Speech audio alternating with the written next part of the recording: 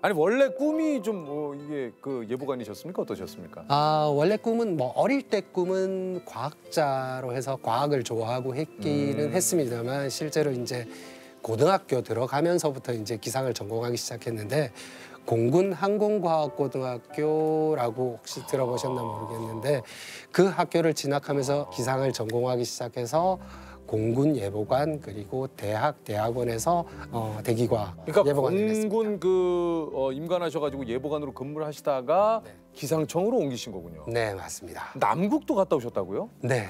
공군에 있으면서 기상청에 입사를 해야 되겠다라고 생각한 아. 첫 번째 이유가 기상청 직원들이 남극 세종과학기지에 파견을 가게 되어 있거든요.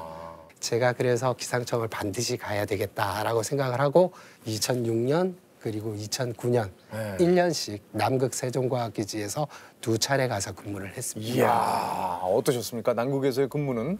정말 겉으로 보여지는 풍경은 정말 멋있습니다. 네. 다큐멘터리 TV에 나와 있는 그런 풍경을 1년 동안 이렇게 보면서 살게 되는데 제가 하고 있는 일이 예보관이었기 때문에 그 제 예보를 믿고 야외 활동, 연구 활동을 하는 분들이 분들이 계시니까. 저랑 같이 있는 동료분들이에요. 음. 정말 생명을 걸고 나가는 거기 때문에 음. 그 예보에 대한 부담감은 정말 말로 표현할 수 없을 정도. 아, 좀 극, 극한의 어떤 그 환경에 놓여져 있는 상태에서 추울 때는 얼마나 추워요 남극은요? 뭐 기온이 한 영하 20도 정도 되는데 거기에는 블리자드라고 눈폭풍 눈앞이 보이지 않을 정도로 눈폭풍이 불면 40m의 바람이 부는데 사람이 40m의 바람이면 바람을 안고 전진을 할 수가 없는 상태거든요. 못 가요, 앞으로. 예. 그때의 체감 기온은 영하 70도. 70도요? 예. 바깥에 나가서 뭐 활동 자체가 불가능한 안 돼요. 그런 날씨가 많이 있거든요. 실제로 예전에 뭐 장면 중에 뜨거운 물 부으면 눈으로 바뀌는 네네 그런 장면 충분히 연출할 수 있고 그 예보관이라는 직업은 뭐 한마디로 얘기하자면 어떤 직업이라고 생각을 하세요? 기상청 예보관은 일도 하지만 공부의 끈을 놓을 수가 없습니다.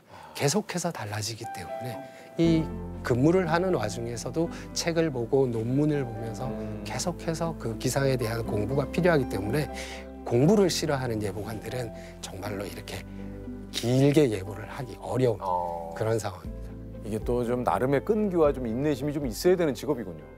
아니 근데 저 이거 있잖아요 너무 그냥 유치한 질문일 수도 있지만 예전에 우리 할머니께서 아이고 오늘 호랑이가 장가가는 날인가 보다 그건 누가 이렇게 만든 이야기예요? 전해 내려오는 속담이나 이런 부분들이 과학적 근거가 아예 없는 거는 아니고요. 지금 현재로 봤을 때 뭐 그런 얘기들이 누가 만들었다 그런 건 잘 모르는 상황. 근데 이제 그런 얘기가 예. 근데 이제 그런 얘기가 저희 잘 결론은 모른다고 얘기하시면 되는데 너무 친절하게 시작은 아, 야, 이거 시작은 그 이야기는 김원석 씨가 예전에 한 이야기입니다. 이렇게 할줄 알고 누구지 했는데